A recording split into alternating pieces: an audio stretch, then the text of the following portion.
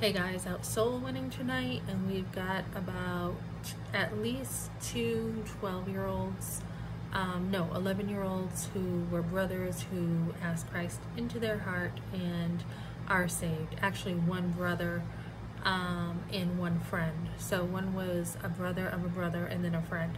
So, um, I was with a lady tonight, and she is um, pretty thorough with her with her scripture. I mean, she she can memorize it pretty well and she opens up her Bible and she makes sure someone understands pretty well what they're believing. And we had one boy, another boy who definitely under conviction, no doubt about it. We both saw it. Um, and you know, he, I said, you know, you don't have to, you don't have to accept Christ right now if you're embarrassed because your friends are right there and you know, I that was kind of bothering him, but we left him with make sure tonight you kind of get right with God. Make sure you do this in your own time if you want to.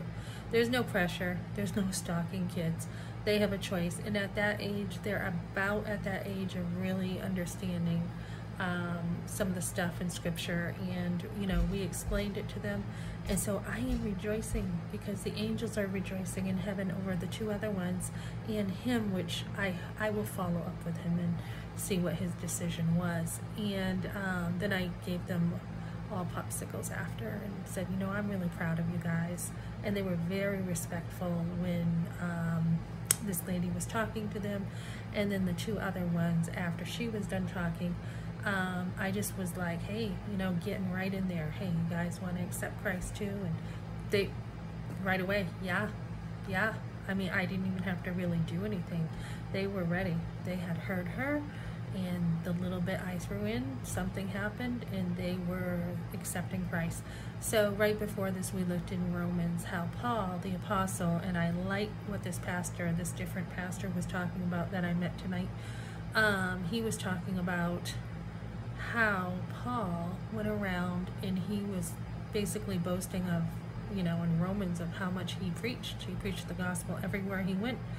And, you know, it really is the power of the Holy Spirit that indwells us that reaches people. And without that, you know, the power of God, the power of the Holy Spirit, you're just going through the motions. You're not really going to reach people as well. It's just, you know, technical stuff. And, um, that's not what we want. We want the hearts. We want to be able to see people saved. And, you know, I believe the time is really short, especially after I just saw on the news today that Elizabeth Warren wants to shut down the pregnancy centers. And I am still shocked at this unbelievable, wicked, demonic woman who wants to shut them down. And she doesn't want she doesn't want mothers to get help. She doesn't want women to have the help they need and the support.